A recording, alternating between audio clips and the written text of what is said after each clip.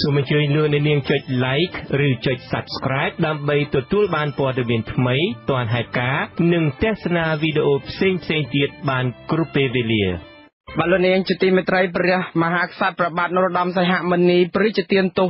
លើកលែងទោសដល់អតីតតំណាងរាជគណៈបក្សសង្គ្រោះជាតិលោកអ៊ុំសំអាន នៅថ្ងៃសៅរ៍ចុងសប្តាហ៍នេះតាមសំណើរបស់លោកហ៊ុនសែនតឡាការក្រុងភ្នំពេញក៏បានចេញដីកាបង្គាប់ឲ្យដោះលែងលោកអ៊ុំសំអាននៅថ្ងៃដដែលនេះផងដែរអតីតតំណាងរាជមណ្ឌលសៀមរាបនៃគណៈបក្សសង្គ្រោះជាតិលោកអ៊ុំសំអានត្រូវបានដោះលែងឲ្យមានសេរីភាពវិញហើយនៅរសៀលថ្ងៃទី25ខែសីហានេះក្រោយពីជាប់ពន្ធនាគារជាង2ឆ្នាំបន្ទាប់ពីបានទទួលការលើកលែងទោសពីព្រះមហាក្សត្រនិងមានដីកាបង្គាប់ឲ្យដោះលែងពីព្រះអាជ្ញារងអមតឡាការក្រុងភ្នំពេញគឺលោករៀលសុភិន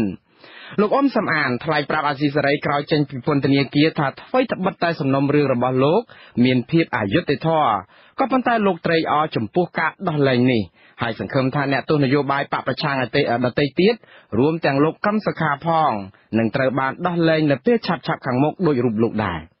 លោកអះអាងថាក្រោយពីចេញពន្ធនាគារនេះ លោកមិនទាន់មានគម្រោងគិតពីរឿងនយោបាយអ្វីនោះឡើយពលគឺត្រឹមរស់នៅជាមួយក្រុមគ្រួសារក្នុងនាមជាប្រជាពលរដ្ឋសាមញ្ញម្នាក់ប៉ុណ្ណោះពេលណាដែលគណៈបក្សសង្គ្រោះជាតិមានវត្តមានឡើងវិញខ្ញុំនឹងចូលរួមជាមួយគណៈបក្សសង្គ្រោះជាតិហើយបើសិនជាអត់ទាន់មានមកវិញទេយើងរស់នៅក្នុងនាមជាប្រជាពលរដ្ឋសាមញ្ញជួបជាមួយក្រុមគ្រួសារតែប៉ុណ្ណោះឯងហើយរឿងនយោបាយនៅពេលដែលគណៈបក្សសង្គ្រោះជាតិត្រឡប់មកវិញដាច់ខាតខ្ញុំត្រូវចូលរួមជាមួយគណៈបក្សសង្គ្រោះជាតិព្រោះខ្ញុំជាអ្នកគ្រប់គ្រងគណៈបក្សសង្គ្រោះជាតិអញ្ចឹងចាហើយខ្ញុំសង្ឃឹមថាពេលអនាគតមានការផ្សព្វផ្សាយជាតិហើយនឹងមានការវិលត្រឡប់នៃគណៈបក្សសង្គ្រោះជាតិមកវិញ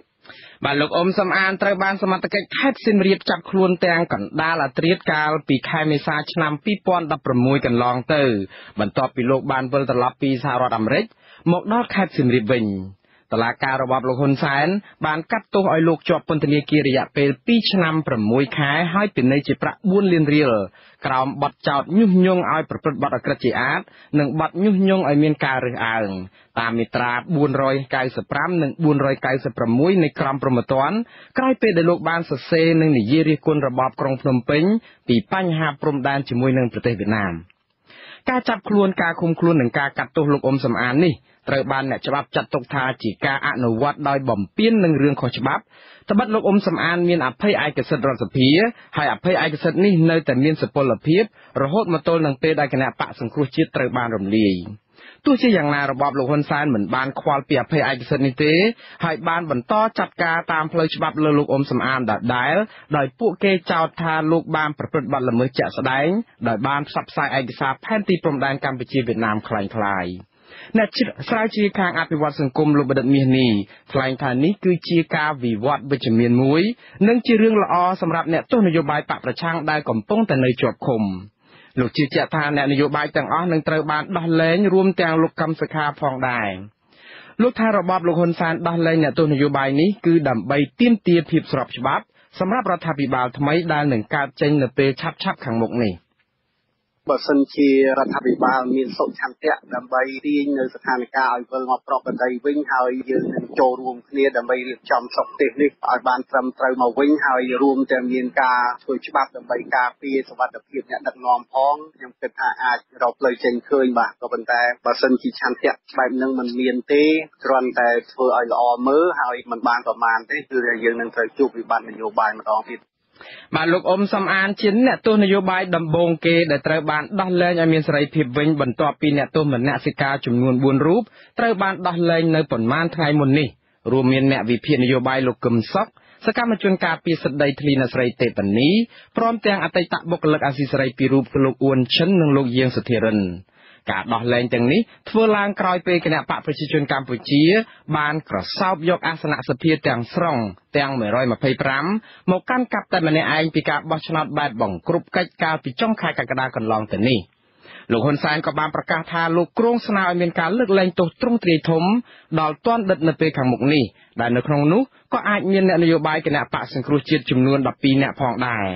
លោកថ្លែងថាការស្នើដោះលែងនេះគឺជាការសន្តោសប្រណីដែលចេញពីចិត្តធម៌របស់លោកហើយបានប្រមានថាអ្នកទោសគណៈបកប្រឆាំងទាំង12នាក់នោះនឹងមិនត្រូវបានដោះលែងនោះឡើយប្រសិនបើមានការអត្ថាធិប្បាយណាមួយថាការដោះលែងនេះផ្ដើមចេញពីសម្ពាធអន្តរជាតិនោះអ្នកវិភាគចាត់ទុកការប្រកាសបែបនេះថាជាការបង្ហាញឲ្យឃើញថាកម្ពុជា ជាប្រទេសនីតិមាត់មិនមែនជានីតិរដ្ឋឡើយ។ហើយសំណុំរឿងទាំងឡាយលើសកម្មជននិងថ្នាក់ដឹកនាំគណៈបកសង្គ្រោះជាតិនោះ គឺជាយុទ្ធសាស្ត្របន្តក្រាញអំណាចនិងកម្ចាត់សម្លេងប្រឆាំងរបស់លោកហ៊ុនសែនតែប៉ុណ្ណោះបាទលោកនាងជាទីមេត្រីដោយសារតែពេលនេះលោកអ៊ុំសំអានបានផ្ដល់ឱកាសឲ្យខាងវិទ្យុអាស៊ីសេរីរបស់យើងអាចសម្ភាសលោកផ្ទាល់អំពីសុខទុក្ខរបស់លោកនៅឯពន្ធនាគារកាលពីរយៈពេលជាង2ឆ្នាំកន្លងមកហើយនឹងជំហានបន្ទាប់នឹងអ្វីដែលលោកនឹងគ្រោងធ្វើទៅអនាគតបន្ទាប់ពីបានរួចពីពន្ធនាគារនេះឥឡូវនេះសូមជម្រាបសួរលោកអ៊ុំសំអានបាទ បាទសូមជម្រាបសួរបាទរីករាយណាស់លោកអ៊ុំសំអានដែលបានជួបលោកម្ដងទៀតដូចជាបាត់មុខនឹងជាង2ឆ្នាំហើយបាទស្ងាត់ឈឹងហើយ ឃើញលោកចេញមកហ្នឹងក៏មានការស្វាគមន៍ជាច្រើនទាំងអ្នកដែលនៅឯប្រទេសខ្មែរក៏ដូចជានៅស្រុកក្រៅនេះលោកអ៊ំសំអានតើរយៈពេល2ឆ្នាំកន្លងមកនេះនៅ ក្នុងពន្ធនាគារតើស្ថានភាពយ៉ាងម៉េចខ្ញុំនឹងសួរអំពីការសបាយរីករាយការពិតលោកនឹងសបាយប៉ុន្តែចង់ចង់រំលឹកពីក្រោយបន្តិចទៅវិញថាតើពេល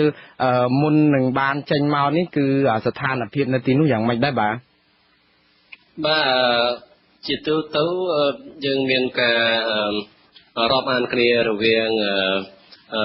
អ្នកទស្សនយោបាយទាំងអស់ជាមួយនឹងគេហៅថាខ្សែខ្សែហ្នឹងគឺថាឆ្នាំយាមពន្ធនាគារគេរាប់អានគ្នាដូចជាបងប្អូនអញ្ចឹងហើយអ្នកទោសដទៃទៀតគេអត់ប្រកាន់ទេគេរាប់អានយើងដូចជាបងប្អូនស្រឡាញ់រាប់អានគ្នាយើងសួរសុខទុក្ខគ្នាគេគ្រប់ស្រឡាញ់រាប់អានគ្នាជាទូទៅទាំងមន្ត្រីពន្ធនាគារទាំង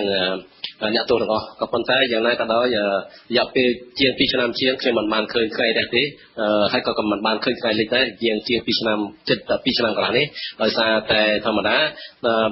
ល្ងាចឡើងប្រហែលជាម៉ោង3កន្លះយូរបំផុតម៉ោង7:04គឺគេចាក់សោយើងចូលនៅក្នុងបន្ទប់ហើយអញ្ចឹងយើងមិនអាចឃើញថ្ងៃលិចទេ ដល់ព្រលឹមឡើងប្រហែលជាម៉ោង8ឬក៏ម៉ោង8កន្លះមកគេចាក់សោយើងចេញមកវិញអញ្ចឹងយើងអត់បានឃើញថ្ងៃដែរទេដូច្នេះស្ថានភាពហ្នឹងគឺថាជាការមួយគួរឲ្យសោកសង្វេងផងដែរដែលយើងមិនបានឃើញបរិយាកាសខាងក្រៅជាពិសេសថ្ងៃលិចឬថ្ងៃដែរហើយស្ថានភាពក្នុងហ្នឹងគឺថាពន្ធនាគារមានការកែលម្អច្រើនក៏ប៉ុន្តែស្ថានភាពនៅនៅមានកម្រិតមួយដែលថាមិនតាន់មានការកែលម្អឲ្យឲ្យបានទ្រង់ទ្រាយធំនៅឡើយដោយសារមានអ្នកទោស ជាប់ពន្ធនាគារហ្នឹងវាច្រើនហួសកំណត់អញ្ចឹងការរស់នៅនោះវាមានការចង្អែតមានការចង្អៀតណែនណែនណែនតាមតាប់ហើយអឺ មួយទៀតសម្រាប់ទោសអ្នកទោសមួយចំនួនគាត់អត់មានទឹកប្រើប្រាស់គ្រប់គ្រាន់ជាការយើងប្រើទឹកទៅពាំងហើយទឹកស្អាតហ្នឹងបើគេបើកមួយថ្ងៃ3ដងចឹងទៅអញ្ចឹងប្រើគ្រាន់អញ្ចឹងគឺថាស្ថានភាពហ្នឹងវាវាយ៉ាប់ដែរហើយយើងយ៉ាងណាក៏ដោយយើងឃើញថាបាយម្ហូបអីហ្នឹងក៏ក្រាន់បើជាងមុនឃើញបាយម្ហូបគាត់ហូបបានពីនៅពុទ្ធនេគាទៅទៀតនៅប្រជាណាចក្រកម្ពុជាក៏ប៉ុន្តែពួកខ្ញុំថាយើងហូបដាំបាយខ្លួនឯងចឹងពួកបាយហ្នឹងវានៅមានកម្រិតកាលណាយើងហូបទៅវាអាចមានជាតិខ្លាញ់ច្រើនព្រោះវាធ្វើជាពិសាច់ជ្រូកច្រើនណាដូច្នេះស្ថានភាពជាទូទៅគឺដូចអ្នកអតីតអ្នកយកព័ត៌មានវិទ្យុអស៊ីសេរីថាដូចឋានរស់អញ្ចឹងជួនកាលវា stress ខ្លាំងពេកវាវាវាអារម្មណ៍មួយមិនសូវជាស្រួលដោយសារវាភាពចង្អៀតណែនាំតាមតាប់ទោះបីជាមានការរាប់អានពីពីអ្នកជាប់ទោសដូចគ្នាមិនមានជាអ្នកទោសនយោបាយហើយនិងពីមន្ត្រីពន្ធនាគារក៏ដោយបាទ អរគុណលោកសំអានតាមពិតទៅអ្វីដែលលោកលើកឡើងអំពីស្ថានភាពនៅពន្ធនាគារនេះគឺអ្នកដែលរួចពីឃុំនឹងលោកតែងតែលើកឡើងអំពីស្ថានភាពលំបាកនឹង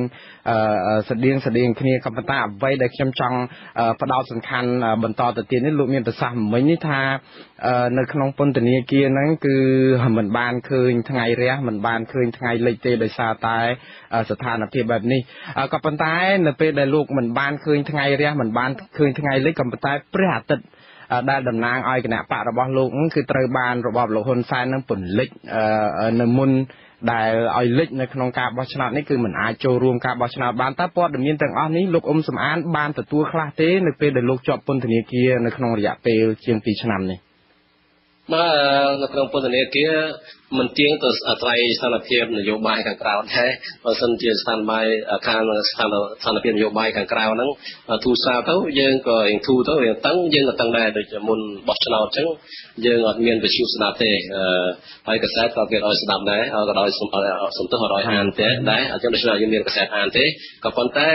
មករយៈក្រោយមកគេឲ្យអានកសែតវិញតែវិទ្យុអត់ទាន់បានស្ដាប់ទេឥឡូវនេះគេអត់ទាន់ឲ្យអនុញ្ញាតឲ្យឲ្យស្ដាប់វិទ្យុទេហើយមួយទៀតអឺ គ្នាយើងហ្នឹងក៏ជួបគ្រួសារហ្នឹងជួបដល់កញ្ចក់កញ្ចក់ហ្នឹងពិបាកដែរអត់បានចាប់ដៃគ្នាអត់បាន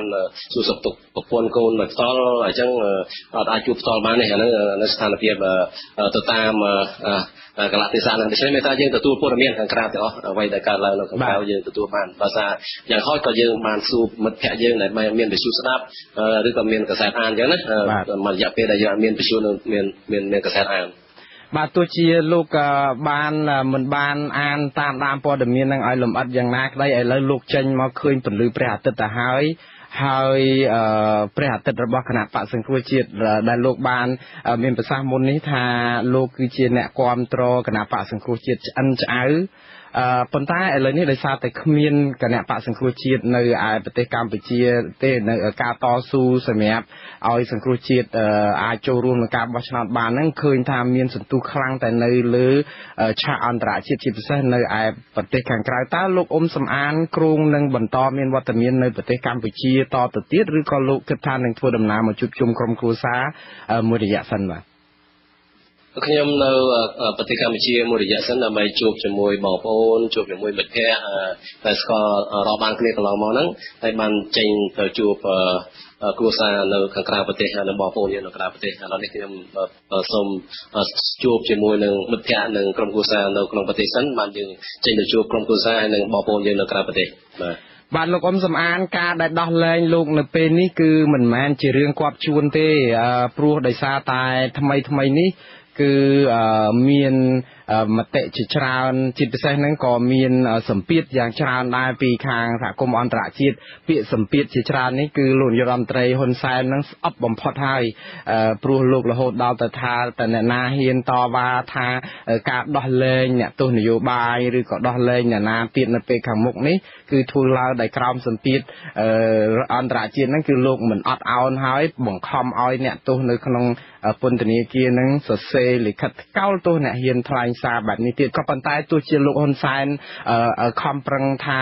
លោកមិនរងសម្ពាធយ៉ាងណាក៏ដោយចោះអ្នកវិភាគនយោបាយលោកក៏បានបានបញ្ជាក់រួចទៅហើយថាបើគ្មានសម្ពាធនយោបាយហើយរបបថ្មីនេះកំពុងតែរកភាពស្របច្បាប់ទេក៏លោកហ៊ុនសែនមិនបន្ធូរដែរព្រោះបើសិនជាលោកចង់ដោះលែងដោះលែងយូរហើយមិនមែនពេលនេះទេអ្វីដែលខ្ញុំចង់សួរលោកអ៊ុំសំអាននៅពេលនេះគឺផ្ដោតខ្លាំងទៅលើអ្វីដែលលោកបានថ្លែងនៅពេលដែលចេញពីពន្ធនាគារហ្នឹងលោកថាលោកនឹងនៅតែ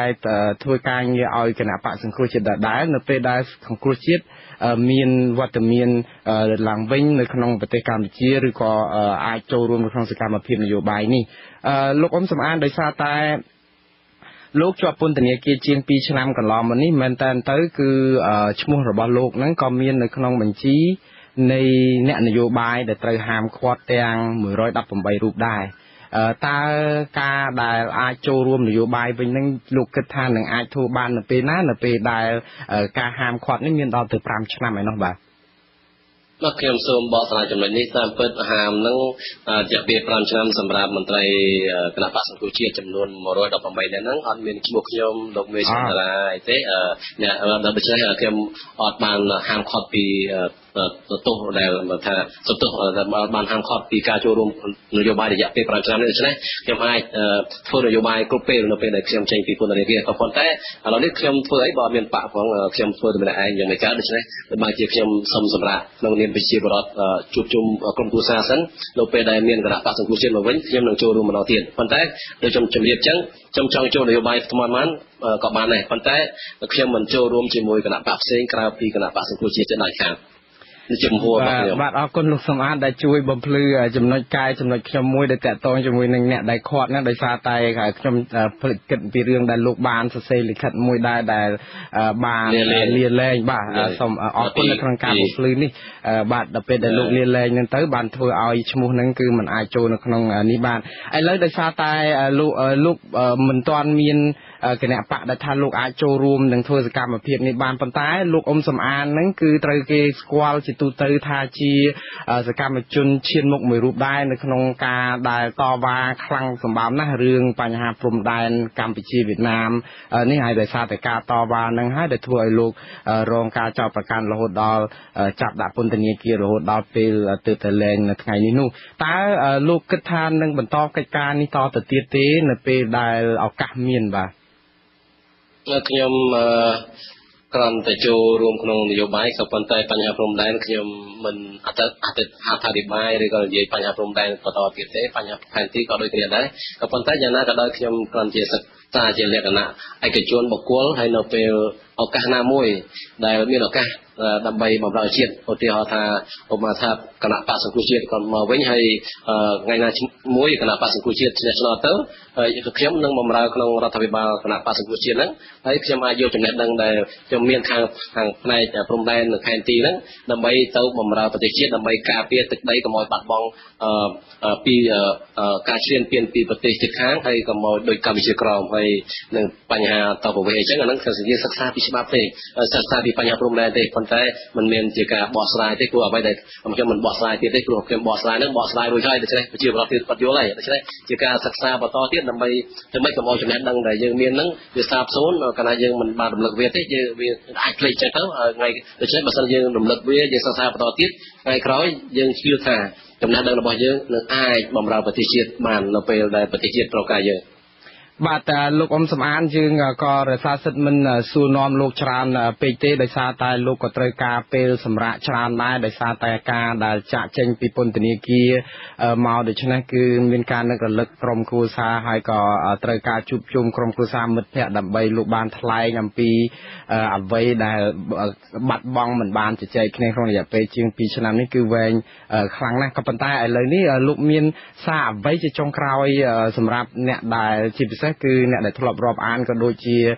អ្នកដែលធ្លាប់គ្រប់គ្រងលោកតែម្ដងនៅក្នុងនាមជាតំណាងរាស្ត្ររបស់គណៈបកសង្គ្រោះជាតិដែលលោកបានតំណាងនៅមណ្ឌលខេត្តសៀមរាបនោះនៅពេលលោកចេញនេះបាទបាទខ្ញុំសូមអឺ អរគុណចំពោះបងប្អូនប្រជាប្រដ្ឋខ្មែរទូទាំងប្រទេសដែលបានគ្រប់គ្រងគណៈបកសង្គ្រោះជាតិកន្លងមកក៏ដូចជារូបខ្ញុំហើយក៏សូមផ្ដាំការនឹករលឹកដល់បងប្អូនខ្ញុំនឹងនៅជាមួយបងប្អូនគ្រប់ពេលវេលាមិនទៅណាឆ្ងាយពីបងប្អូនទេហើយខ្ញុំនឹងមានពេលឱកាសនឹងមកដល់ដើម្បីបម្រើបងប្អូនក្នុងនាមជាប្រជាប្រដ្ឋខ្មែរម្នាក់ហើយខ្ញុំនឹងបម្រើបងប្អូនបន្តទៀតឥឡូវនេះខ្ញុំមិនតាន់មានគណៈបកដែលខ្ញុំតែទៅចូលរួមដូច្នេះខ្ញុំអសកម្មភាពនយោបាយមួយរយៈសិនព្រោះដល់មានការរស់ឡើងវិញនៃគណៈបកសង្គ្រោះជាតិបានខ្ញុំចូលរួមហើយខ្ញុំសូមបកស្រាយបន្តិចខាងលមុនដោយសារហេតុអីបានជាខ្ញុំអត់ត្រូវបានគេហាមឃាត់ពីការធ្វើនយោបាយរយៈពេល5ឆ្នាំហ្នឹងដោយសារកាលខ្ញុំជាប់ពន្ធនាគារហ្នឹងក៏ខ្ញុំបានដាក់លិខិតលាលែងពីគណៈកម្មាធិការនយោបាយរបស់គណៈបកសង្គ្រោះជាតិដូច្នេះអឺដើម្បីកុំឲ្យគេរំលាយគណៈបកសង្គ្រោះជាតិឬប៉ះពាល់ដល់គណៈបកសង្គ្រោះជាតិអីចឹងទៅអញ្ចឹងខ្ញុំអត់អត់មានក្នុងបញ្ជីដែលហាមឃាត់ទេដោយសារខ្ញុំជាប់ពន្ធនាគារខ្ញុំបានលាលែងពីគណៈបកហើយខ្ញុំមិនបានស្ថិតនៅក្នុងអឺ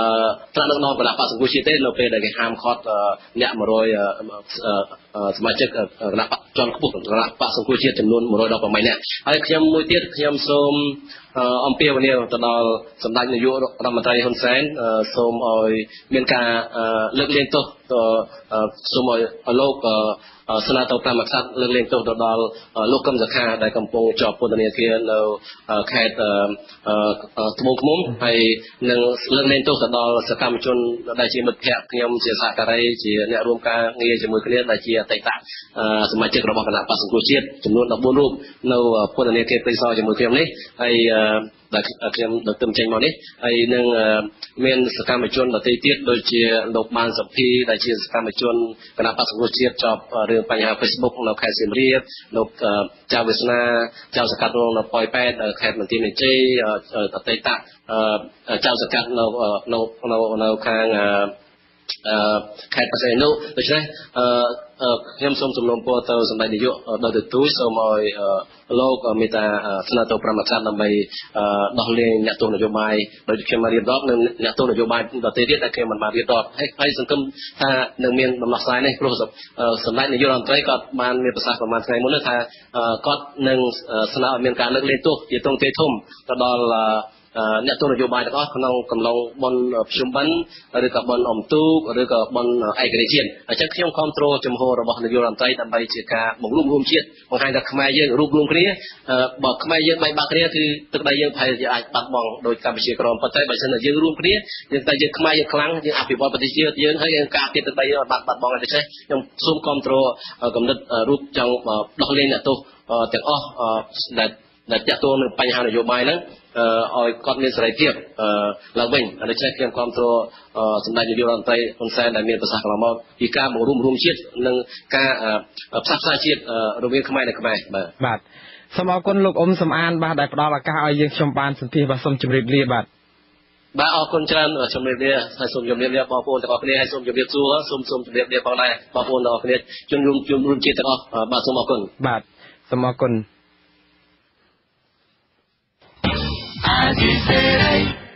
នាងជាទីមេត្រីជំវិញនឹងព្រឹត្តិការណ៍នយោបាយនេះជាងនៅមានរឿងជាច្រើនទៀតតាក់ទងជាមួយនឹងរឿងនេះដែរប្រធានចលនាសង្គ្រោះជាតិលោកសំរងស៊ីលើកឡើងថាលោកហ៊ុនសែនដោយសារតែធ្វើផ្លត់ស្នៀត3លើកមកនេះគឺបានន័យថាកំពុងតែដើរដល់ចំណុចតល់ច្រកហើយលោកសំរងស៊ីលើកឡើងថាការដែលលោកហ៊ុនសែនតល់ច្រកហ្នឹងគឺព្រោះតែប្រព្រឹត្តខុសម្ដងហើយម្ដងទៀតទើបបានជាលោកហ៊ុនសែននិយាយលែងដឹងខុសត្រូវ អ្នកនាំពាក្យរបបលោកហ៊ុនសែនឯវិញនឹងចាត់ទុកសម្ដីរបស់លោកហំលោកសំរងស៊ីនេះថាជារឿងគ្មានប្រយោជន៍លោកមានរិទ្ធមានសេចក្តីរាយការណ៍ជំវិញព័ត៌មាននេះលោកសំរងស៊ីបានអះអាងនៅក្នុងទំព័រ Facebook របស់លោកនៅថ្ងៃទី25សីហាថាថ្មីថ្មីនេះលោកហ៊ុនសែនបានផ្លាត់ស្នៀត3ដងផ្ទួនទួនគ្នាដោយលើកទី1ផ្លាត់ស្នៀតពេលរំលាយគណៈបាសគ្រូជាតិលើកទី2ពេលរៀបចំការបោះឆ្នោតខ្លាំងខ្លាយនិងផ្លាត់ស្នៀតចុងក្រោយពេលលួចសន្លឹកឆ្នោតច្រើនពេក ហើយរហូតដល់ទៅប្លន់កៅអីទាំងអស់នៅរដ្ឋសភា គឺប្រមូលយកទាំង125កៅអីដែលជាហេតុធ្វើឲ្យពិភពលោកអស់សំណើចហើយកាត់ការរបបលោកហ៊ុនសែនថាជារបបមិនស្របច្បាប់ប្រធានចលនាសង្គ្រោះជាតិរូបនេះអះអាងទៀតថានៅពេលនេះលោកហ៊ុនសែនតច្រករហូតធ្វើឲ្យលោកនិយាយដោយមិនដឹងខុសត្រូវទៀតផង ឆ្លើយតបនឹងការលើកឡើងនេះអ្នកនាំពាក្យទីស្តីការគណៈរដ្ឋមន្ត្រីចាំផ្ទះរបស់លោកហ៊ុនសែនគឺលោកផៃសិផានហាក់មិនចាប់អារម្មណ៍ទៅនឹងសម្ដីរបស់លោកសំរាសីនេះទេដោយលោកចាត់ទុកថាជាពាក្យសម្ដីឥតប្រយោជន៍គាត់ថាមិនក៏បានដែរគាត់ថាទូទៅជាដើម្បីដើម្បីទៅជាតែស្ដារនេះខ្ញុំទៅប្រកបមិនឲ្យតម្លៃទៅដល់នេះទៅបាទអានេះប្រកបអញ្ចឹងមិនខ្ញុំថាគាត់ថាទៅតែខ្ញុំមិនយកចិត្តទុកដាក់យកមិនឆ្លើយឆ្លង ថ្មីថ្មីនេះលោកហ៊ុនសែនប្រកាសថា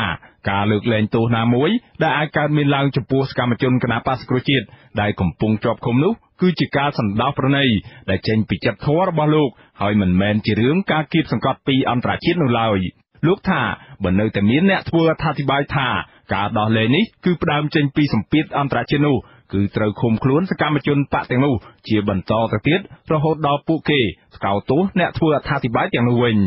លោកហ៊ុនសែនក៏បានវាយប្រហារអ្នកដែលលើកឡើងថាការចាប់ខ្លួនឬដោះលែងស្ថិតនៅក្នុងកណ្ដាប់ដៃរបស់លោកតែម្នាក់ឯងលោកបញ្ជាក់ថារឿងនេះជាអំណាចស្របច្បាប់ដែលលោកមាននៅក្នុងនាមជានាយករដ្ឋមន្ត្រីហើយដោយសារតែមានការស្នើសុំរបស់លោកទើបព្រះមហាក្សត្រមានសិទ្ធិឡាយប្រហ័សលេខាលើកលែងទោសដល់អ្នកជាប់ឃុំទាំងនោះគឺនៅលើចុងបិទរបស់នាយករដ្ឋមន្ត្រីនិយាយឬមិននិយាយដែរជាឈួតឲ្យវាថាលើកលែងទោសក៏ដោយសារអំណាច ឥឡូវសួរតារដ្ឋមន្ត្រីនេះមានអំណាចដែរវាអត់អំណាចនេះគេឲ្យទៅនាយករដ្ឋមន្ត្រីមួយគត់ហើយអំណាចនេះនៅក្នុងប្រទេសនេះមានតែពីរទេអំណាចមួយអំណាចអ្នកស្នើគឺនាយករដ្ឋមន្ត្រីអំណាចមួយទៀតអំណាចព្រះមហាក្សត្រគឺអ្នកលើកលែងគឺអំណាចលើតែពីរនាក់ភ្លាមភ្លាមក្រោយការប្រមានរបស់លោកហ៊ុនសែនថានឹងបដូរចិត្តមិនដោះលែងអ្នកជាប់ឃុំដែលជាសកម្មជនគណបក្សសង្គ្រោះជាតិ បើនរណាហ៊ាននិយាយរិះគន់លោករឿងថាការដោះលែងនេះគឺមកពីសម្ពាធអន្តរជាតិលោកសំរាស៊ីឆ្លើយតបថាច្បាស់ណាស់បើគ្មានសម្ពាធអន្តរជាតិនោះទេនោះលោកហ៊ុនសែនច្បាស់ជាមិនដោះលែងអ្នកទោសនយោបាយទាំងនោះឡើយក្រោយសារឌឺដងឡងសម្ដីដាក់គ្នារវាងអ្នកនយោបាយចាស់ភាសាទាំងពីរអ្នកនេះក៏នៅតែមានការដោះលែងតំណាងរាស្ត្រគណៈបក្សសង្គ្រោះជាតិគឺលោកអ៊ុំសំអានអ្នកវិភាគលើកឡើងថាបើលោកហ៊ុនសែនគិតពីប្រយោជន៍ជាតិមែននោះ ម្លេះបរោះខ្លាំងខាងរំលោភសិទ្ធិមនុស្សរូបនេះមិនចាំបាច់ព្រួយបារម្ភពីការរិះគន់រឿងការដោះលែងអ្នកទោសនេះពីមជ្ឈដ្ឋានខាងក្រៅនោះទេអ្នកវិភាគវ័យក្មេងកញ្ញាលីស្រីស្រស់អះអាងថានេះគ្រាន់តែជាសង្គ្រាមនយោបាយឌឺដងដាក់គ្នារវាងមេដឹកនាំរដ្ឋាភិបាលចាំផ្ទះជាមួយអតីតប្រធានគណៈបកប្រឆាំងតែប៉ុណ្ណោះហើយពាក្យសម្ដីទាំងនេះមិនផ្ដល់ផលប្រយោជន៍ដល់សង្គមជាតិនោះឡើយប្រសិនបើមេដឹកនាំទាំងពីរមិនព្រមរកដំណោះស្រាយត្រូវរើគ្នាឡើងវិញនោះទេ ប៉ុន្តែវាពេលទៅវិញវាបានបង្ហាញពីការប្រឹក្សានៃការរវល់ចិត្តរបស់យើងវាកាន់តែធ្វើឲ្យគេឃើញហើយយើងកំពុងតែឈានដល់ដំណាក់កាលមួយថាធ្វើទៅមិនអាចទៅជជែកគ្នាបានទេគឺគ្រាន់តែរឿងតូចតាចតែប៉ុណ្ណឹងយើងជួបគ្នាយើងគ្មានឆន្ទៈនៅក្នុងការដោះស្រាយដែរហើយអញ្ចឹងខ្ញុំគិតថាអាបញ្ហាទាំងអស់ហ្នឹងទាំងការលើករបស់លោកសំយ៉ាងស៊ីចែកក៏លោកយុរដ្ឋមន្ត្រីទាំងការលើករបស់លោកយុរដ្ឋមន្ត្រីទៅទៅសំពីហ្នឹងគឺទៅវិញវាបានបង្ហាញអំពីការបែកបាក់ចិត្តកាន់តែធ្ងន់ធ្ងរ អ្នកវិភាគរូបនេះបន្ថែមទៀតថាដើម្បីដោះស្រាយស្ថានភាពសពថ្ងៃនេះលុះត្រាតែលោកហ៊ុនសែនថយមួយជំហានដោយដោះលែងអ្នកទោសមនសិការនិងសកម្មជននយោបាយឲ្យអស់ជាមុនសិនទើបអាចជជែកគ្នាបានបើទោះបីជាពិភាក្សាពេញមុខមាត់ឬដោយប្រយោលក៏ដោយហើយទៅមកបើសិនជាយើងមានបញ្ហាគឺប្រទេសជាមួយនឹងកម្រិតអន្តរជាតិប្រទេសមានន័យថាយើងត្រូវតែ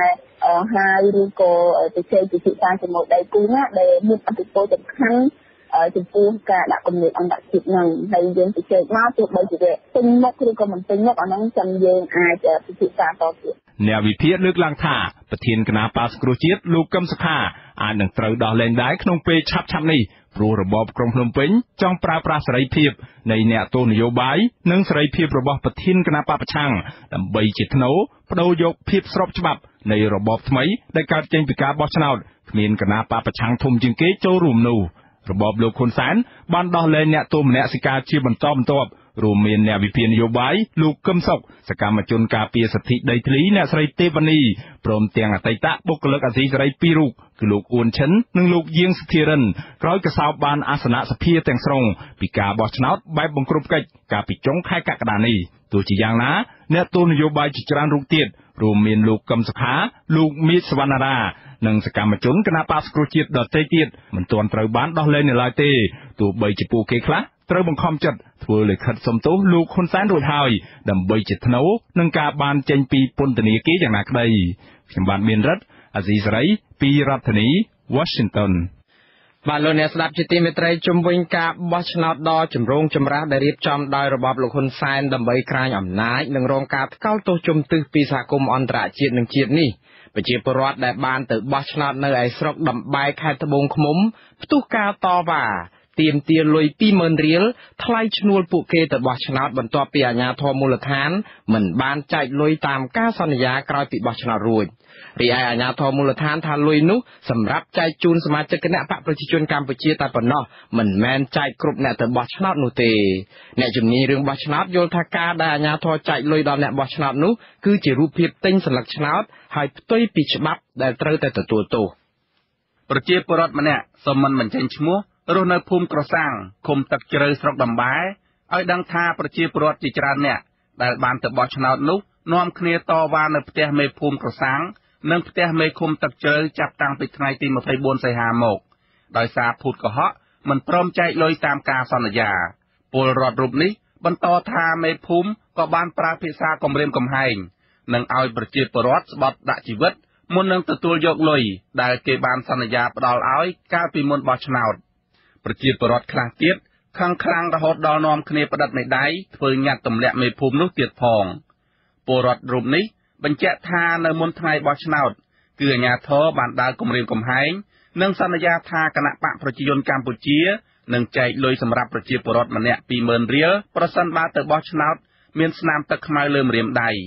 រឿងហ្នឹងកើតឡើងរកពីអៃដាមវិញសខុនជួយមកដឹងភូមិចំណគាត់ថាឲ្យខាងនៃភូមិហ្នឹងបើចែកលុយឲ្យអ្នកដែលបានទៅចូលរួមមកឆ្នោតហ្នឹងទាំងអស់គ្នាហ្នឹងបើអត់មានថាប្រកាន់បកណាបកណាទេឲ្យសំខាន់ឲ្យគាត់មានឈ្មោះហើយនឹងបានអញ្ជើញទៅបោះឆ្នោតថ្ងៃទី29ហ្នឹងគាត់នឹងទទួលបានលុយម្នាក់20000រៀលអញ្ចឹងទេពលរដ្ឋខ្លាំងតែគាត់អញ្ជើញទៅបោះឆ្នោតឲ្យគាត់រងចាំយកលុយហ្នឹងបាទហើយរហូតដល់ថ្ងៃហ្នឹងអត់មានឃើញនៃភូមិណាដែលចែកលុយឲ្យអញ្ចឹងតប៉ុន្តែមានប៉ុន្តែចែកឲ្យពលរដ្ឋណាដែលគេគិតថាអ្នកបោះឆ្នោតគ្រប់គ្រងបព្វជិជនបាទចំណែកមកអ្នកគ្រប់គ្រងបព្វផ្សេងទៀតគឺថាអត់ទាន់មានឃើញចែកឲ្យទេ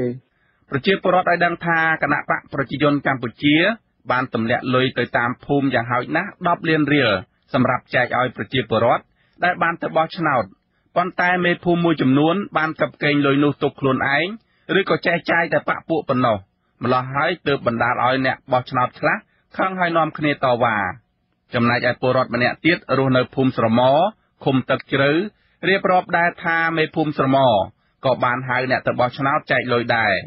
លោកបញ្ជាក់ថាលុយនោះគឺជាលុយទិញសន្លឹកឆ្នោតព្រោះមុនការបោះឆ្នោតខាងគណៈបកប្រជាជនកម្ពុជា បានដើរសន្យាចែកលុយបើអ្នកណាទៅបោះឆ្នោត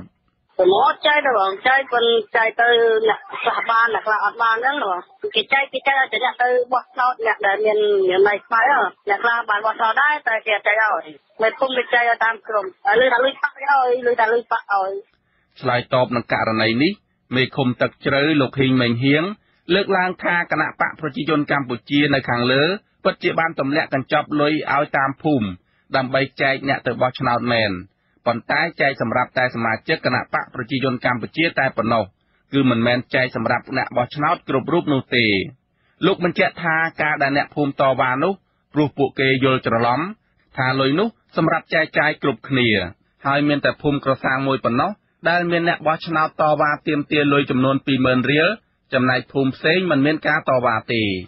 អត់មាននិយាយទេដល់ក្រោយមកបោះឆ្នោតនោះថាគេជូនអញ្ចឹងว่าមានអត់មានថាបញ្ហាថាអីឲ្យទៅឲ្យតែអ្នកបោះឆ្នោតឲ្យទាំងអស់ណាអត់ផងបាទបាទខាងលើខាងក្រុមការងារបាទសមាជិកសាម្នាក់20000បាទអខាងខាងគេនោះអត់អីគាត់តែគុំកសាំងមួយទេដែលគេតវ៉ាច្រើនបាទតែគុំកសាំងទេបាទ អូចេះលោកប្អូនហើយអានេះបើយើងនិយាយដល់ទៅពួកនេះវាខ្ញុំមើលទៅនេះសាហាយតែដល់ពេលវាឲ្យលុយទៅថាទៅតែបោះជូនគេបានប្រាប់ហើយអាយដាមគាត់ទៅប្រជុំអីគាត់ថាឲ្យតែសមាជិកគណៈបកដែលបានទៅបោះឆ្នោតបាទជូនប្រគុណបាទអាស៊ីសេរីមិនអាចសុំការឆ្លើយតបពីអភិបាលខេត្តត្បូងឃ្មុំ លោកលីលេង នៅថ្ងៃទី25សីហាបានទេ ដោយលោកប្រាប់ថាជាប់រវល់សែនចិននឹងជួបជុំបងប្អូន អតីតសមាជិកគណៈកម្មការជាតិរៀបចំការបោះឆ្នោត និងជាប្រធានសហភាពសហជីពកម្ពុជាលោករងឈុនមានប្រសាសន៍ថានៅក្នុងខេត្តត្បូងឃ្មុំ ដែលមានមន្ត្រីគណៈបកប្រជាជនកម្ពុជាផ្ដល់ប្រាក់ឲ្យប្រជាពលរដ្ឋបន្ទាប់ពីការបោះឆ្នោតហើយគឺជាទង្វើមួយផ្ទុយពីច្បាប់ ដែលត្រូវតែទទួលទោសលើសពីនេះ លោកយល់ថាករណីនេះជាផុសតាងបង្ហាញបន្ថែមទៀតថាការបោះឆ្នោតកន្លងទៅ គឺគ្មានយុត្តិធម៌និងសេរីត្រឹមត្រូវឡើយជុំវិញបញ្ហាហ្នឹងដែលយើងមើលឃើញទង្វើបែបហ្នឹងវាជាការខុសទៅនឹងច្បាប់ពីព្រោះច្បាប់បោះឆ្នោតបានកំណត់ច្បាស់ថាមិនត្រូវឲ្យមានការទិញទឹកចិត្តការទិញស្លឹកឆ្នោត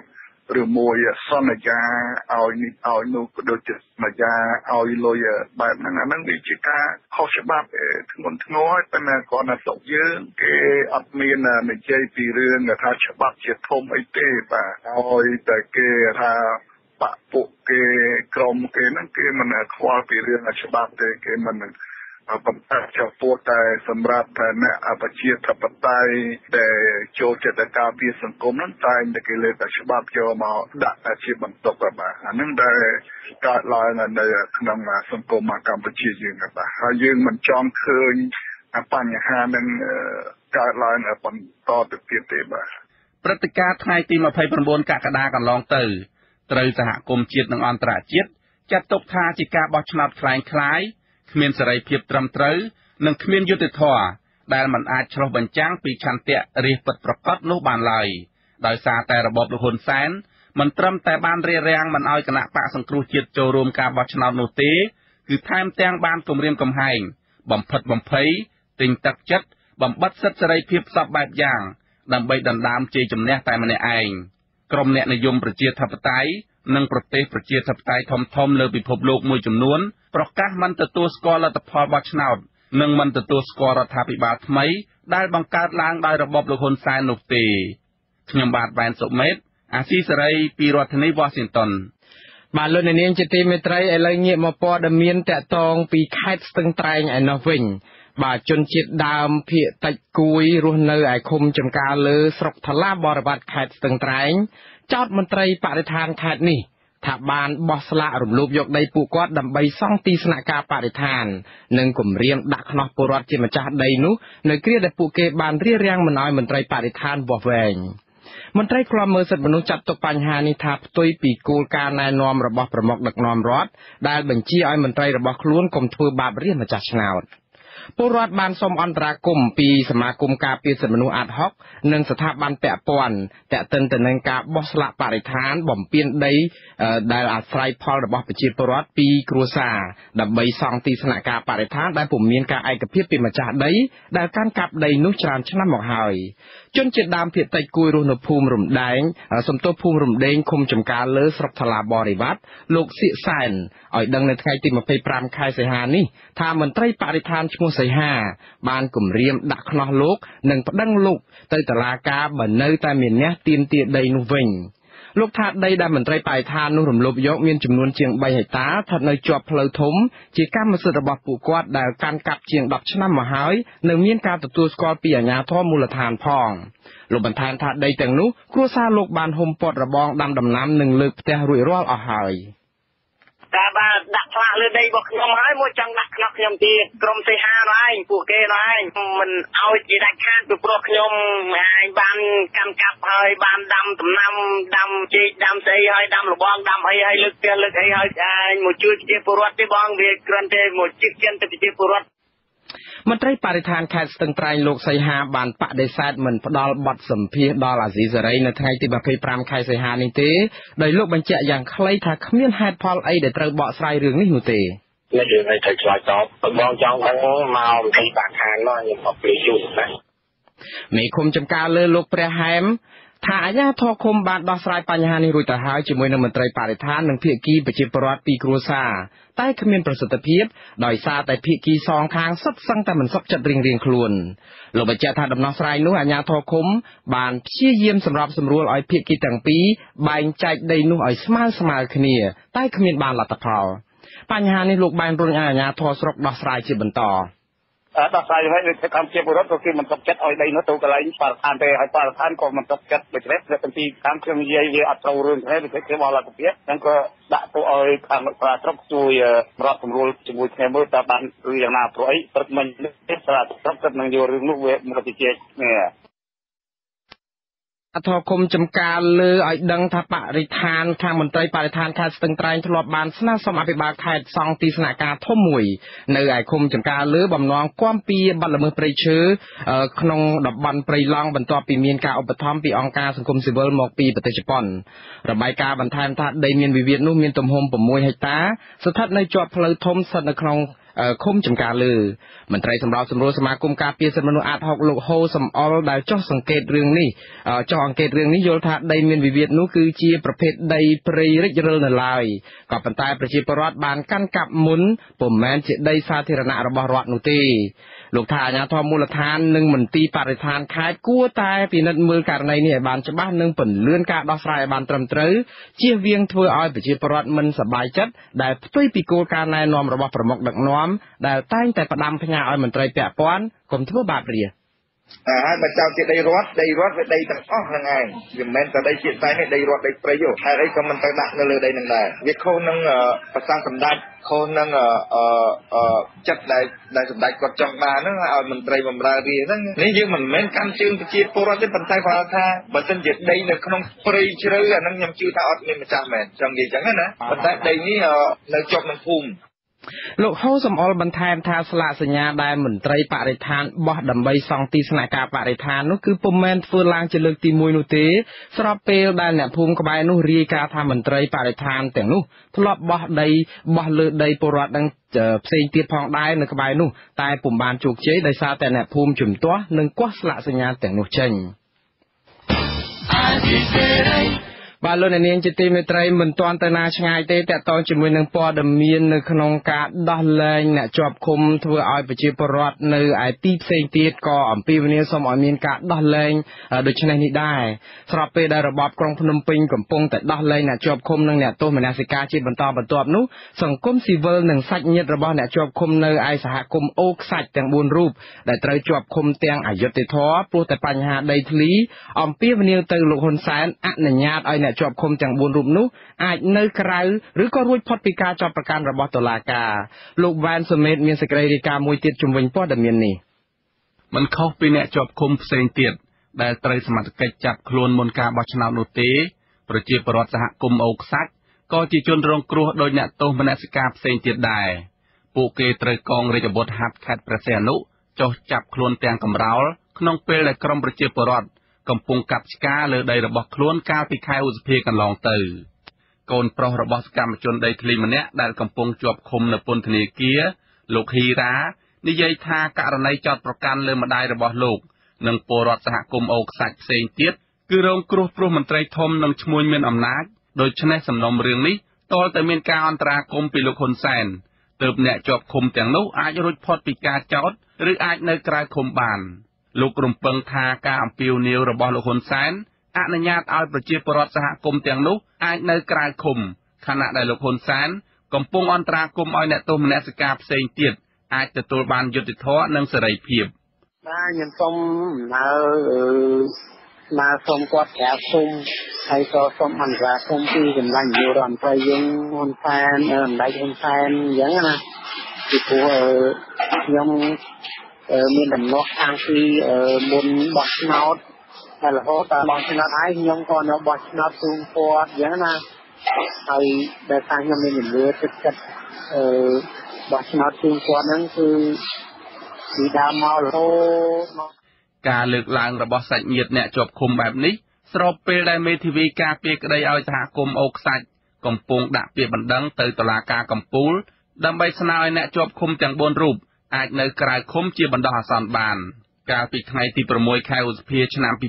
2018មេបញ្ជាការកងរាជអាវុធហត្ថខេត្តព្រះសីហនុលោកហេងប៊ុនទីបានបញ្ជាកងកម្លាំងចុះចាប់ពលរដ្ឋសហគមន៍អូខ្សាច់ភូមិ4ឃុំអូត្រេសស្រុកស្ទឹងហាវខណៈពួកគេកំពុងត្រួសត្រាយសម្អាតស្មៅនិងកាប់ព្រៃនៅលើដីមានចំនួនក្នុងពេលកំពុងចាប់ខ្លួននោះតំណាងសហគមន៍អូខ្សាច់លោកស្រីលុចទូចបានយំខ្សឹបខ្សួលទាំងដៃជាប់ខ្នោះ ដោយស្នើទៅលោកហ៊ុនសែនជួយអន្តរាគមន៍ដល់ពួកគេមកដៃហ៊ុនសែនជួយកូនចៅខ្ញុំហងជួយខ្ញុំហងលោកតាន់តាប់ចាប់មកទាំងអស់មកពូជសូមឲ្យសម្ដេចជួយកូនចៅខ្ញុំហងជួយខ្ញុំហងអួយខ្ញុំតាន់តាប់មកចាប់មកដៃខ្ញុំរស់នៅតាំងពីឆ្នាំ92តាំងពីខ្លាតាំងពីទំហីសូមឲ្យសម្ដេចជួយកូនចៅតែកូនចៅប្រាប់ជួយសម្ដេចកន្លងមកលោកឥឡូវឥឡូវនេះកូនចៅគ្រោះដាក់ធំណាស់សូមឲ្យសម្ដេចធ្វើមិនក៏ដោយជួយកូនចៅពលរដ្ឋទាំង4នាក់ ត្រូវឈ្មោះមានអំណាចក្នុងខេត្តព្រះសីហនុឈ្មោះតាន់តាក់ដែលមានងារជាអង្គញានិងឈ្មោះរកស៊ីដីម្នាក់ទៀតឈ្មោះលុញវណ្ណៈដែលសំអាងថាខ្លួនមានបានកម្មសិទ្ធិលើដីមានចំនួនប្តឹងទៅតុលាការខេត្តព្រះសីហនុពីបទប្រើហិង្សាលើអ្នកកាន់កាប់អចលនវត្ថុដោយសុចរិតការចោទប្រកាន់នេះធ្វើឲ្យក្រុមពលរដ្ឋទាំង4នាក់ប្រឈមមុខនឹងជាប់ពន្ធនាគារពី6ខែទៅ2ឆ្នាំនិងរងការពិន័យជាប្រាក់រហូតដល់25លានរៀល អ្នកសម្របសម្រួលនៃសមាគមសម្ព័ន្ធសហគមន៍កសិករកម្ពុជា ក្នុងខេត្តប្រសេអនុលោកញ៉ែលភៀបដែលបានតាមដានដំណើរការរឿងនេះយល់ឃើញថាករណីចំនួនដីធ្លីនេះតលតែមានអន្តរាគមពីលោកហ៊ុនសែនទើបអាចផ្ដល់យុត្តិធម៌ដល់ពលរដ្ឋទាំងនោះបាន លោកអះអាងថាករណីចំនួនដីធ្លីនេះគឺជាការរំលោភសិទ្ធិមកលើក្រុមពលរដ្ឋជាប្រព័ន្ធពីឈ្មោះមានលុយនិងមន្ត្រីមានអំណាច ការជួយអន្តរាគមន៍បស្រាយធ្វើយ៉ាងម៉េចបុគ្គលដីធ្លីហ្នឹងបស្រាយអន្តរាគមន៍ទៅម៉េចបុគ្គលដីធ្លីហ្នឹងជូនដល់ប្រជាពលរដ្ឋដែលជាម្ចាស់ដីពិតប្រាកដហើយចិត្តជាការអ្នកដែលចិត្តទៅតែដើររំលោភចិត្តទៅធ្វើបានកម្មសិទ្ធិរំលោភទៅដល់ជាពលរដ្ឋដែលប្រើប្រាស់បាយផលពិតប្រាកដហ្នឹងគិតពីថ្ងៃឃុំខ្លួនពលរដ្ឋទាំង4រូបនោះមកដល់ពេលនេះ មានរយៈពេលជាង3ខែមកហើយប៉ុន្តែតុលាការខេត្តព្រះសីហនុនៅមិនទាន់បើកសវនាការជំនុំជម្រះសំណុំរឿងនេះនៅឡើយទេចំនួនដីធ្លីដែលឈានដល់ការចាប់ខ្លួនពលរដ្ឋបែបនេះស្របពេលដែលដីធ្លីនៅខេត្តព្រះសីហនុកំពុងឡើងថ្លៃខ្លាំងដោយក្រុមឈ្មួញជនជាតិចិនកំពុងនាំគ្នាសម្រុកវិនិយោគនៅខេត្តមួយនេះខ្ញុំបាទបែនសុមេតអាស៊ីសេរីពីរដ្ឋធានី Washington បាទលោកអ្នកស្ដាប់ជាទីមេត្រីលោកអ្នកនាងទើបបានស្ដាប់ព័ត៌មានប្រចាំថ្ងៃរបស់វិទ្យុអាស៊ីសេរីដែលរៀបចំជូនដោយខ្ញុំបាទមួងណារ៉េតពីរដ្ឋធានី Washington ជាបន្តទៅទៀតនេះសូមអញ្ជើញលោកអ្នកនាងរងចាំស្ដាប់បទពិភាក្សានៃនៃព័ត៌មានរបស់យើងជាបន្តទៅទៀតដូចតទៅប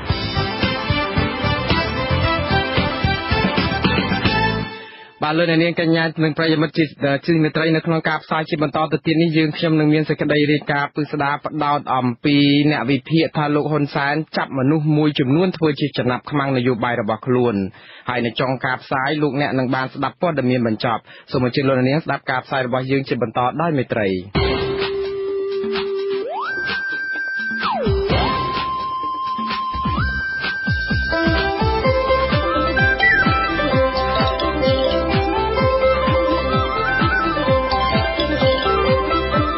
ក្តីរាយការណ៍ពិស្ដា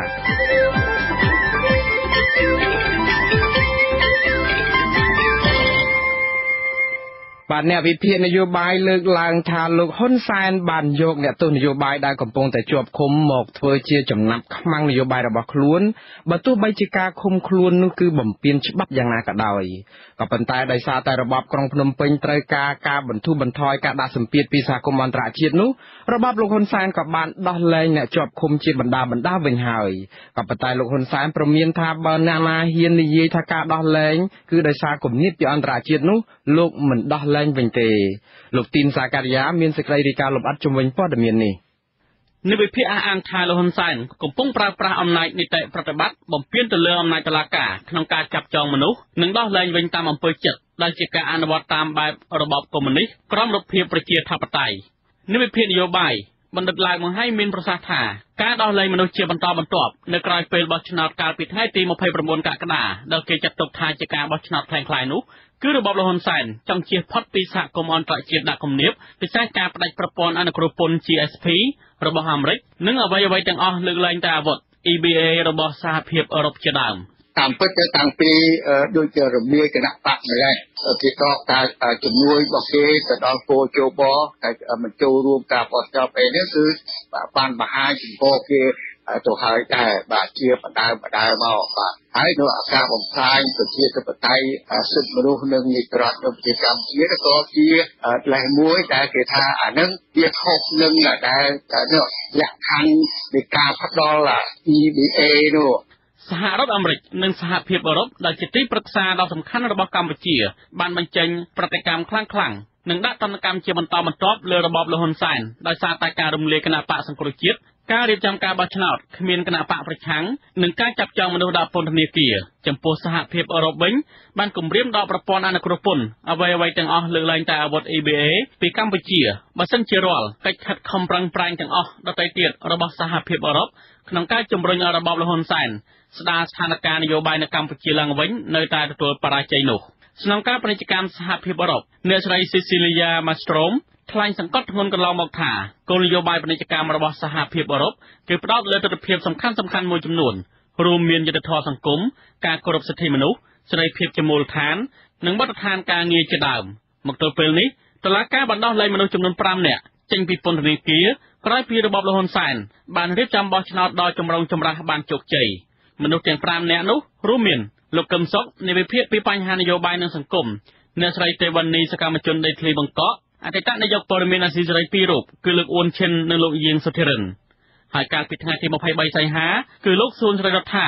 អតីតប្រធានគណៈបកអំណាចខ្មែរត្រូវបានព្រះមហាក្សត្រចេញព្រះរាជក្រឹត្យលើកលែងទោសបន្ទាប់ពីបានធ្វើលិខិតសំទោសលោកហ៊ុនសែនជាលើកទី2នៅក្នុងឱកាសជួបកម្មករកាលពីថ្ងៃទី23សីហាលោកហ៊ុនសែនបញ្ជាក់ថាលោកមានគម្រោងដោះលែងមនុស្សចំនួន12នាក់ទៀត ដែលគេដឹងថាជាសកម្មជនគណបកនយោបាយឬក្រុមអ្នកនយោបាយបកប្រឆាំងដែលកំពុងជាប់ឃុំ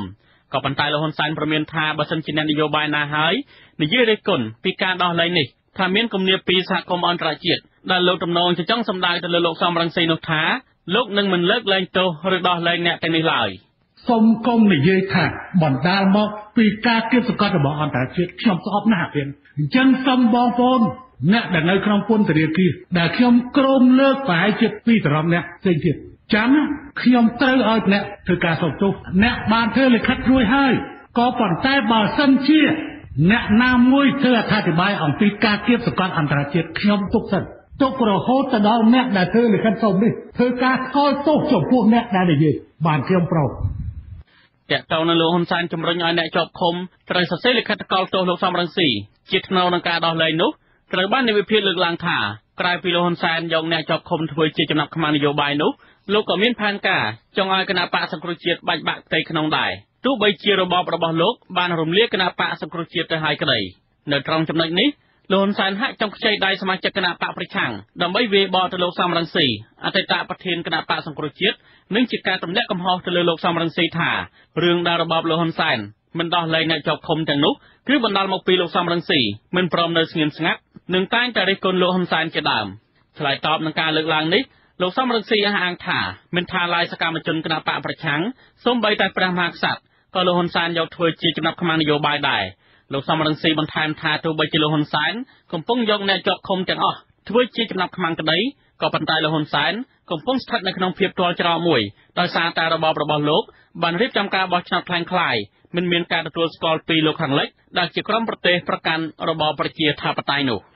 យើងទាំងអស់គ្នាឃើញច្បាស់ហើយថាលោកហ៊ុនសែនគាត់បង្ខំឲ្យអ្នកដែលនៅក្រោមអំណាចរបស់គាត់ធ្វើអ្វីតាមដែល តាមតែគាត់ចង់បានសូម្បីតែព្រះមហាក្សត្រដែលយើងថាព្រះមហាក្សត្រគឺយើងគោរពទាំងអស់គ្នានឹងលោកហ៊ុនសែនអត់មានគោរពព្រះមហាក្សត្រទេ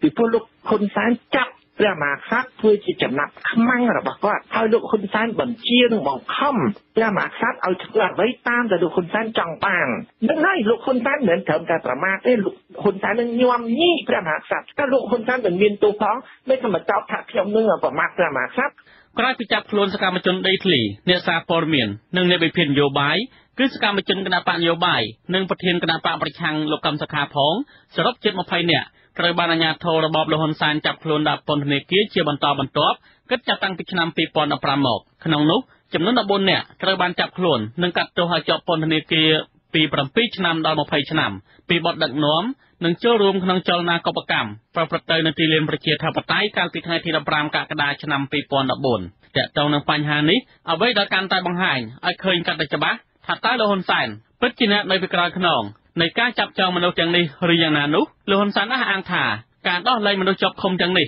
ឬមិនដោះលែងគឺវាមិនលំបាកឡើយគឺស្ថិតនៅលើចុងបិចរបស់លោកតែប៉ុណ្ណោះ គឺនៅលើចុងបិចរបស់នាយករដ្ឋមន្ត្រីនិយាយឬមិននិយាយដែរចុះឈួតឲ្យវាថាលើកលែងទោសក៏ដោយសារអំណាចហាឥឡូវសួរថារដ្ឋមន្ត្រីនេះមានអំណាចនៅនេះវាអត់អំណាចនេះគេឲ្យទៅនាយករដ្ឋមន្ត្រីមួយគត់ហើយអំណាចនេះនៅក្នុងប្រទេសនេះមានតែពីរទេអំណាចមួយអំណាចអ្នកស្មើគឺនាយករដ្ឋមន្ត្រីអំណាចមួយទៀតអំណាចព្រះមហាក្សត្រគឺអ្នកលើកលែងគឺអំណាចមានតែពីរទេឆ្លើយតបនឹងបញ្ហានេះ បណ្ឌិតឡើងបង្ហាញបញ្ជាក់ថាការប្រកាសរបស់លោកហ៊ុនសែនបែបនេះគឺជាការលាតត្រដាងឲ្យឃើញកាន់តែច្បាស់ថាលោកហ៊ុនសែនបានប្រើប្រាស់អំណាចនៃតែប្រតិបត្តិជន់ឈ្លីលើអំណាចតុលាការ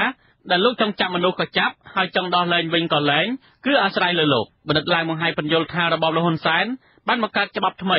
ឬវិសោធនកម្មច្បាប់រំលោភលើរដ្ឋធម្មនុញ្ញម្ដងហើយម្ដងទៀតដូចជាការអះអាងពីសិទ្ធិលើកលែងទោសនេះជាដើមគឺទាល់តែលោកចោះហត្ថលេខាលើលិខិតស្នើសុំទៅព្រះមហាក្សត្រទៅបាន តាមពិតក្នុងរដ្ឋធម្មនុញ្ញបានចែងថា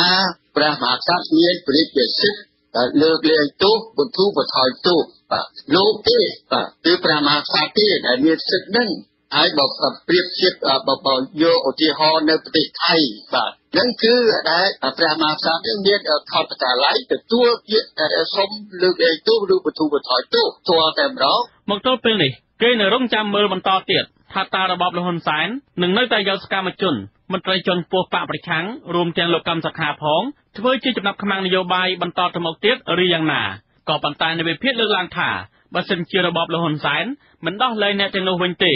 ហើយទម្លាក់កំហុសថាមកពីលោកសំរងស៊ីទើបលោកមិនដោះលែងនោះក៏មិនចឋានទូទៅរួមទាំងសហគមន៍អន្តរជាតិផងក៏មិនជឿលើលោកហ៊ុនសែនដែរព្រោះថាសហគមន៍អន្តរជាតិ រួមទាំងមន្ត្រីជាន់ខ្ពស់នៃអង្គការសហប្រជាជាតិផ្នែកសិទ្ធិមនុស្សផងធ្លាប់បានអំពាវនាវឲ្យដោះលែងអ្នកជាប់ឃុំទាំងនេះជាហោហាយមកហើយបើមិនពុំនោះទេ វិធានការដាក់ទណ្ឌកម្មបន្ថែមគេនឹងចាប់ផ្ដើមអនុវត្តជាមិនខានខ្ញុំទីនសាការីយ៉ាអាស៊ីសេរីពីរដ្ឋធានី Washington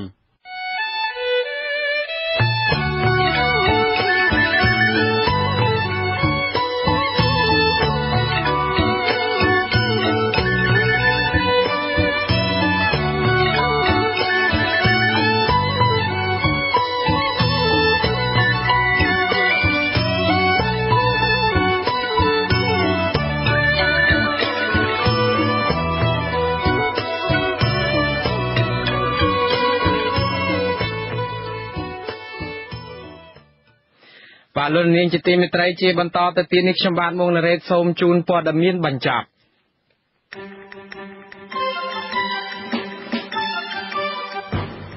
អតីតតំណាងរាជមណ្ឌលសៀមរាបនៃគណៈបកសង្គ្រោះជាតិលោកអ៊ុំសំអានត្រូវបានដោះលែងឲ្យមានសេរីភាពវិញហើយនៅរសៀលថ្ងៃទី25ខែសីហានេះក្រោយជាប់ពន្ធនាគារជាង2ឆ្នាំបន្ទាប់ពីទទួលបានការលើកលែងទោសពីព្រះមហាក្សត្រ លោកអ៊ុំសំអានថ្លែងប្រាប់អាស៊ីសេរីក្រោយពីចេញពន្ធនាគារថាត្បិតតែសំណុំរឿងរបស់លោកមានភាពអយុត្តិធម៌ក៏ប៉ុន្តែលោកត្រេកអរចំពោះការដោះលែងនេះ ហើយសង្ឃឹមថាអ្នកទស្សនយោបាយបកប្រឆាំងដទៃទៀតរួមទាំងលោកកឹមសុខាផងនឹងត្រូវបានដោះលែងនៅពេលឆាប់ៗខាងមុខដោយរូបលោកដែរលោកអះអាងបន្តថាលោកជាអ្នកគ្រប់គ្រងគណៈបកសង្គ្រោះជាតិដ៏ឆ្អិនឆ្អៅនិងនៅតែបន្តជីវភាពនយោបាយដើម្បីគណៈបកប្រឆាំងមួយនេះតទៅទៀតក៏ប៉ុន្តែលោកត្រូវការពេលវេលាសម្រាប់ពីនយោបាយមួយរយៈសិនដើម្បីជួបជុំគ្រួសារនៅក្នុងពេលនេះ បាទប្រជាពលរដ្ឋដែលបានទៅបោះឆ្នោតនៅឯស្រុកដំបែខេត្តត្បូងឃ្មុំផ្ទុះការតវ៉ាទាមទារលុយ20000រៀលថ្លៃឈ្នួលដែលជួលឲ្យពួកគាត់ទៅបោះឆ្នោតបន្ទាប់ពីអាជ្ញាធរមូលដ្ឋានមិនបានចែកលុយតាមការសន្យាក្រោយពីបោះឆ្នោតរួច រីឯអាជ្ញាធរមូលដ្ឋានថាលុយនោះសម្រាប់ចែកជូនតែសមាជិកគណៈបកប្រជាជនកម្ពុជាតែប៉ុណ្ណោះមិនមែនចែកគ្រប់គ្នាដែលទៅបោះឆ្នោតនោះទេអ្នកជំនាញរឿងបោះឆ្នោតយល់ថាការដែលអាជ្ញាធរចែកលុយដល់អ្នកបោះឆ្នោតបែបនេះគឺជារូបភាពទិញសន្លឹកឆ្នោតដែលផ្ទុយពីច្បាប់តម្រូវឲ្យទទួលទោស បាទចំណែកឯសង្គមស៊ីវិលនិងសាច់ញាតិរបស់អ្នកជាប់ឃុំនៅឯសហគមន៍អូខ្សាច់ទាំង4រូបដែលត្រូវបានជាប់ឃុំទាំងអយុធធរព្រោះបញ្ហាដីធ្លីអំពាវនាវទៅលោកហ៊ុនសែនអនុញ្ញាតឲ្យជាប់ឃុំទាំង4រូបនោះអាចនៅក្រៅឃុំឬរួចផុតពីការចាប់ប្រកាន់របស់តុលាការបាទលោក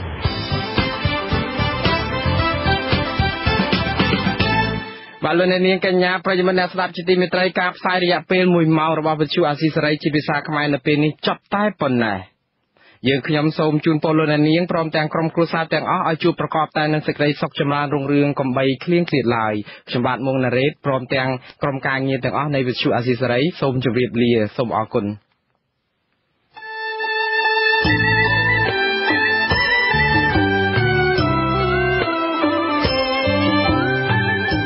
វិទ្យុអេស៊ីសេរីផ្សាយតាមរលកធាតុអាកាសខ្លី